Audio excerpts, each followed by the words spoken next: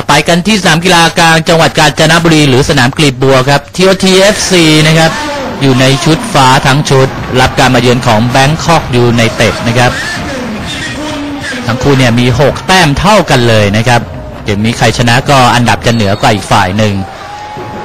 แฟนบอลชาวจังหวัดกาญจนบุรีก็มาชมเกมกันค่อนข้างหนาตาทีเดียวนะครับ คือยิ่งเย็นเนี่ยคนยิ่งเยอะ นี่เป็นภาพช่วงต้นๆเกมนะครับ คนก็อาจจะน้อยไปหน่อย มีโอกาสขึ้นมาก่อนครับเกียรติเขียวสมบัติตวัดเข้ามา แต่ว่าไม่มีตัวชาร์จทีโอทีเนี่ยนะครับ นัดที่แล้วก็เพิ่งจะแพ้ให้กับชลบุรีมาเป็นนัดแรกของฤดูกาลแบงคอกยูไนเต็ดเองนะครับ ก็เป็นทีมมหาวิทยาลัยกรุงเทพเก่านั่นเอง ชั้นเชิงนี้ก็ไม่เป็นรองทีมไหนอยู่แล้ว และมีโอกาสในครั้งนี้ครับจากประเสริฐหาเจียง แต่ยิงไม่ตรงกรอบครับ นี่ครับ ดูอีกครั้งหนึ่งประเสริฐลากเข้าไปนิดหนึ่งด้วยนะครับ ตรงบริเวณเส้นหัวกะโหลก 18 หลา โอ้โห แต่ช้อนใต้ลูกมากไปแล้วบอลมันไม่กินไซด์ด้วยนะครับ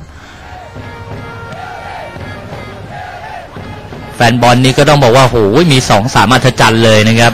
ตอนแรกนี่ดูเหมือนไม่มีคนแต่แบบบางช่วงนี่ต้องบอกคนเยอะจริง ๆ เก็บค่าผ่านประตูได้ถึง 1 2 0 0 0 0 บาทนี่ถือว่าเยอะมากเลยนะครับสำหรับ TOT ในการเป็นเจ้าถิ่น แบงคอกเองนี่ก็ไม่ได้หวั่นเสียงเชียร์ครับ พร้อมลุยสู้อยู่แล้ว ปุณรัตน์ครับเปิดมาเข้าหัวแหม่ของทางปาสกาลโมงมาเข้าทางนันทวุฒิฟันชัยวังนะครับยิงไม่ดีเท่าไหร่ แบงคอกก็ได้ทักทายอีกครั้งหนึงครับดูนะครับปุณรัตน์กินสุคนแหมกเตะนะครับเปิดไปแล้วก็ลื่นด้วยปาสกาลครับโมงมาแต่เคลียร์ไม่ดีนันทวุฒิฟันชัยวังยิงลูกนี้ก็เบาเกินไป ก็ยังไม่ได้ประตูนะครับ กิติคุณแจ่มสุวรรณครับผู้รักษาประตูของ TOT แต่เปิดเกมยาวขึ้นมา เกมของ TOT นี้ก็ต้องบอกว่าฝากความหวังไว้ที่ทางสุชาวนุชนุ่ม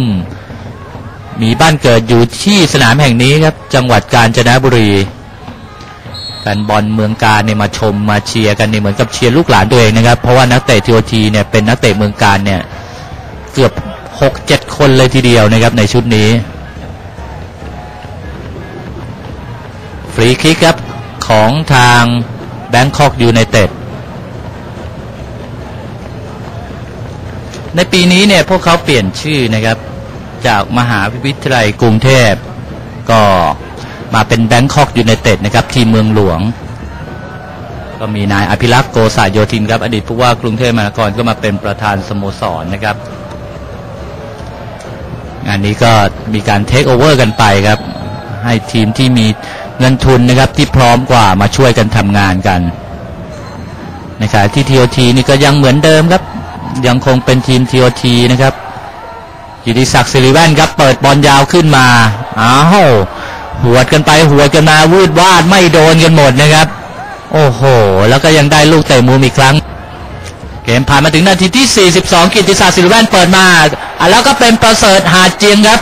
โอ้ที่มงเข้าไปกิติคุณแจ่มสุวรรณปัดไม่พ้นครับ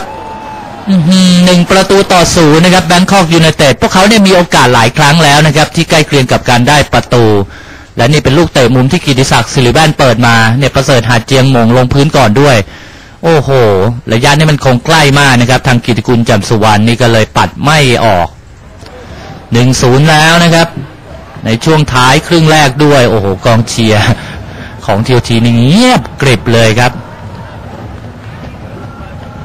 แล้วก็เกมนั้นผ่านมาถึงในช่วงนาทีที่ 45 นะครับ ครึ่งแรกนี่ทำท่าที่จะจบ 1 ประตูต่อศูนย์แล้วนะครับ เพราะว่าทีมแบงคอกยูไนเต็ดเองก็ยังไม่มีวี่แววที่จะเสียประตูแต่แล้วนะครับ มาถึงจังหวะนี้เป็นลูกโมงครับของไกรสอนศรียัน โมงเข้าไปในช่วงนาทีสุดท้ายของครึ่งเวลาแรกนะครับ โอ้โห นี่เป็นจังหวะการเปิดของศิริศักดิ์ตารับพันธ์นะครับ เปิดมาได้แม่นด้วย แล้วก็ไกรสอนศรียันนี่ก็สอดเข้ามาได้ดีนะครับ นี่ครับศิริศักดิ์ตารับพันธ์หยอดมา ไกรสอนศรียันอยู่เสาแรกคนเดียวเลย ง่ายๆเข้าไปหนึ่งประตูต่อหนึ่งจนได้นะครับ และนี่ครับเป็นโอกาสอีกครั้งหนึ่งของทีมแบงคอกยูไนเต็ดในครึ่งแรก แต่ก็ทำไม่ได้ จบครึ่งแรกเสมอกันหนึ่งต่อหนึ่งครึ่งหลังครับเล่นได้แค่4นาทีธีรชัยงามเจริญเปิดฟรีคิกลูกนี้เกียรติเขียวสมบัติมงแม่แต่ว่าโดนปัดไปได้นะครับ โอ้โห วีระเกิดพุทธาครับ ปัดพ้นอันตรายไปได้ นี่ครับดูอีกครั้งหนึ่งมงเนี่ยเกือบจะเสียบเหมือนกันนะครับ แต่ก็ยังไม่เป็นประตูขึ้นนำของทีมเจ้าถิ่นทีโอทีกองเชียร์นะครับ ก็มากันเต็มไปหมดเลยแบงคอกยูไนเต็ดก็ไม่ตั้งรับฝ่ายเดียวครับ มีโอกาสนี่ก็สวนกลับขึ้นมา แต่ว่าต้องบอกว่าเล่นกันแบบเรียกว่ามีการประทะกันค่อนข้างบ่อยนะครับ นี่เป็นอีกครั้งหนึ่งครับที่มีโอกาสสับไกลชนคานนะครับ โอ้โหกีติศักดิ์สิริแว่น ในนาทีที่ 80 นะครับ เกือบจะทำประตูที่ 2 ให้ทีมได้ ดูอีกครั้งหนึ่งนะครับ กิติศักดิ์สิริแว่น ยิงด้วยซ้ายอื้อหือบอลพุ่งชนคาน แล้วก็หลุดออกหลังไปนะครับ หมดเวลาครับ